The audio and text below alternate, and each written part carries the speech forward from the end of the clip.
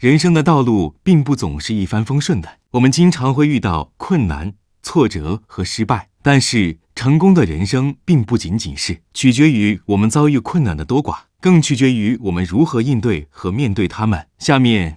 我们想分享一些心灵鸡汤，以帮助你在人生旅途中获得勇气和力量。首先要相信自己，相信自己具备克服任何困难的能力。克服困难的能力，它是成功的第一步。无论外界对你有何评价或期望，你都应该保持对自己的信心。记住，你拥有独特的才能和优势。只要你相信自己，你就能克服任何困难。其次，要保持积极的心态，在遭遇挫折和失败时。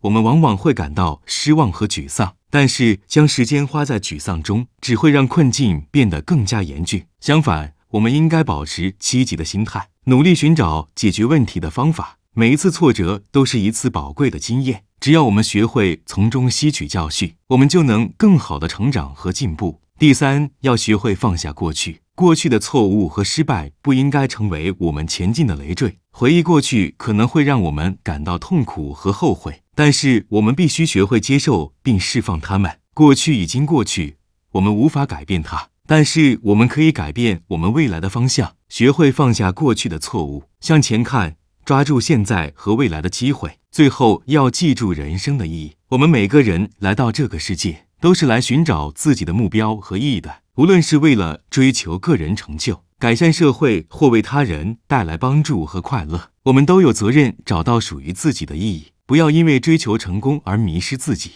而要时刻记住我们内心最真实的声音和渴望。人生的旅程中注定会有困难和挫折，但是正是这些经历塑造了我们成为更好的人的机会。相信自己，保持积极的心态，学会放下过去，追寻人生的意义。这些都是我们在面对困难时需要的心灵鸡汤。相信自己的力量，勇敢的面对挑战，你将会在人生的旅程中收获更多成功和快乐。